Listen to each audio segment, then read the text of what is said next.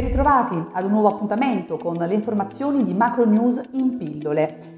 Si sono svolti nei giorni scorsi i funerali del 52enne Pasquale Passero, l'uomo di cellule deceduto a seguito delle ferite riportate in un incidente stradale.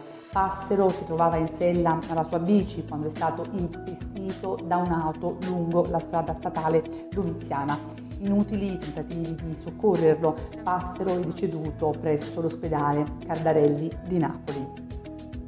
Ospedale San Rocco, disagi per i pazienti a causa della sospensione dell'attività del CUP, il centro unico di prenotazione.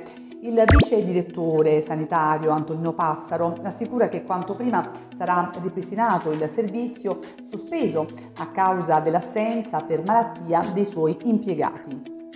Accertamenti idrici a cellule, mentre gli utenti sono in rivolta a causa degli avvisi di pagamento emessi dall'ufficio tributi, il sindaco Guido Di Leone risponde alle critiche, affermando che l'ufficio è stato gestito in maniera non regolare in passato ed ora si trova a dover far fronte alle conseguenti difficoltà ma gli organi preposti, assicura, molto presto indagheranno per accertare eventuali responsabilità.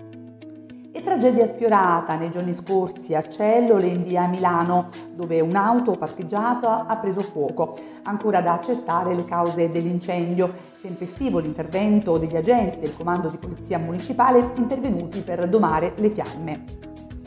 Tentativi di boicottaggio al comune di Sessaurunca, l'ex sindaco Silvio Sasso ha presentato un nuovo esposto in cui diffida l'ufficio protocollo dell'ente ad accettare dimissioni che non siano state protocollate personalmente da lui ed inviate tramite PEC.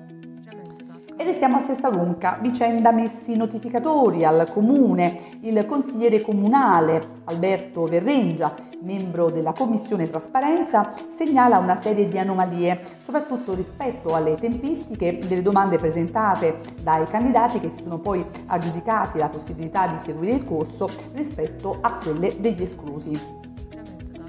Sostegno alle famiglie meno ambienti. Il sindaco Lorenzo Diorio e l'assessore alle politiche sociali Sabrina Izzo annunciano che è possibile ritirare i pacchi alimentari e di igiene fino al 15 aprile presso l'ex sede del comando di polizia municipale in Viale Trieste a Sessoronca. Ed anche a Cellole il sindaco Guido Di Leone e l'assessore Antonietta Marcheggiano hanno deciso di erogare un contributo economico di 100 euro in occasione delle festività pasquali per ogni nucleo familiare. Le domande dovranno essere inviate entro e non oltre il 12 aprile. Cinghiali devastano gli uliveti nella frazione di San Castrese di Sessa Arunca.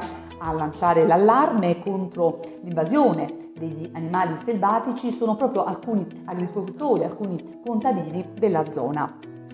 Elezioni RSU presso il comune di Cellole. I nuovi rappresentanti sindacali del municipio sono Angelo Izzo, Angela Troisi e Pietro Sellitto.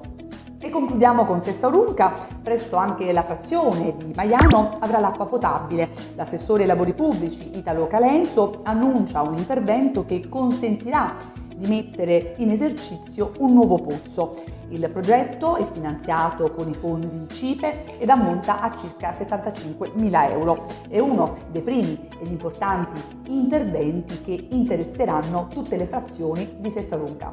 E con questa notizia è tutto, io vi ringrazio come sempre della vostra cortese attenzione e vi ricordo che per ogni aggiornamento alle notizie o approfondimento alle notizie appena ascoltate basterà digitare il sito www.macronews.it. Grazie per averci seguito, alla prossima!